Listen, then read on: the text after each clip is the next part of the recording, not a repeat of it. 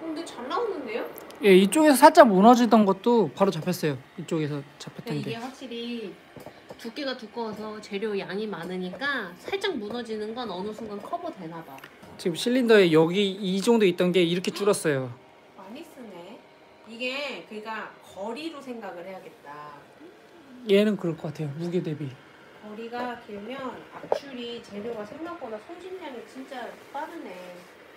그러니까 이게 조금 요만하게 했다 그러면은 너무 작아가지고 모양이 다 깨져서 음. 보기 싫을 건데 크니까 모양은 나오는데 여튼 그 소음은 extruder에 너무 과한 일을 시키거나 과부하가 걸리면 소음이 생기는데 그거는 이제 재료의 물기 정도나 압출량 속도, 압출 그 퍼센테이지 등에 따라서 좀 다를 것 같은데 현재로서는 진짜 소음 거의 없어요. 특히 얘는 거의 팬도 없어요. 팬이라고 해봤자 저 보드에 있는 팬이 하나인 것 같아요. 보드 열 시켜주는 거 밑에 있는 어, 거. 그래서 팬 소음도 없어요. 왜 우리 3D 프린터 요새는 팬 소음이 더 크다고 막 하잖아요. 팬 소음 자체도 없고 되게, 그냥 되게 조용해. 예. 응. 막 이게 다 흙이에요. 하얀색이. 다 청소해야 돼. 여기 지금 막 책상 위도 이래요. 지금 난리가 아니야. 청소할 게 그 끝없이 보입니다.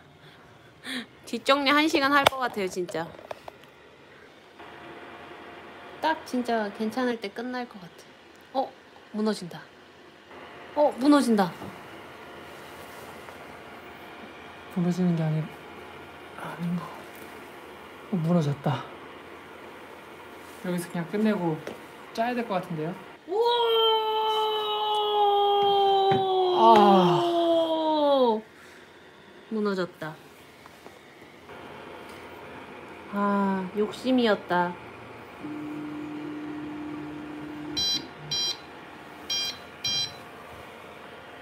어, 완전히 파이처럼 펴졌다 근데 펴졌어요.